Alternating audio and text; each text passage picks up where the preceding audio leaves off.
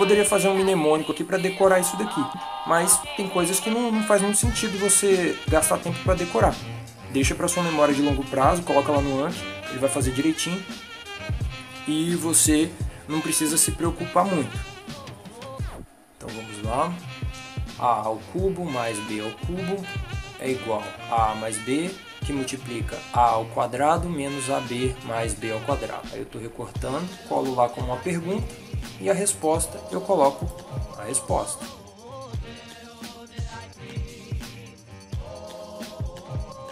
Fala estudante, tudo bom? Então, nesse clipe eu te mostrei um pouco sobre se vale a pena ou não você criar toda uma técnica para tentar memorizar a parada, decorar, sendo que tem lá a curva do esquecimento para te auxiliar nisso. Então, olha só, eu criei um passo a passo para você colocar essa estratégia aqui na fase de memorização de fórmulas matemáticas. É um passo a passo bem claro e bem direcionando você mesmo para ir lá e já começar a utilizar em matemática, em física, em química e em outras matérias onde você precise memorizar essas formulazinhas, ok? Então, se você quiser ter acesso a esse checklist, a esse passo a passo, tem aqui um link na descrição que você vai conseguir acessar e baixar esse passo a passo. Maravilha?